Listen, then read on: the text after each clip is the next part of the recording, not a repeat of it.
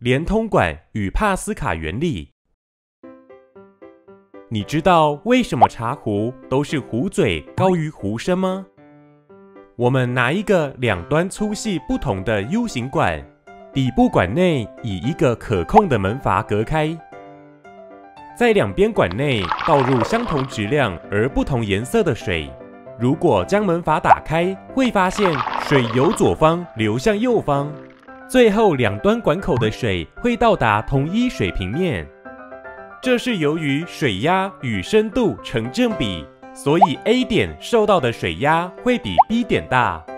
因此，当门阀开启，因为压力不同，会使水从压力大的 A 点流向压力小的 B 点，直到两端到达同一水平面、水压相同为止。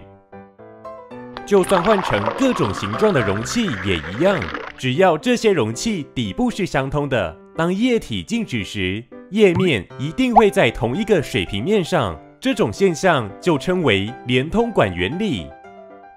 茶壶的设计就是利用连通管原理，让壶嘴高于壶身，以免茶水溢出。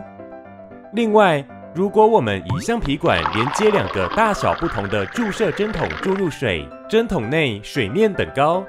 在小针筒活塞上放置砝码，可看到小针筒水面下降。而大针筒水面上升，这代表小针筒的活塞受力产生的压力经由水传递到大针筒的活塞上，而由于大针筒的活塞面积大，可以产生较大的上推力。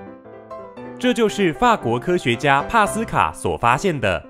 当外在压力作用在密闭容器内的液体时，此压力会以相同大小传递到液体内的任何一处。以及容器的气壁上。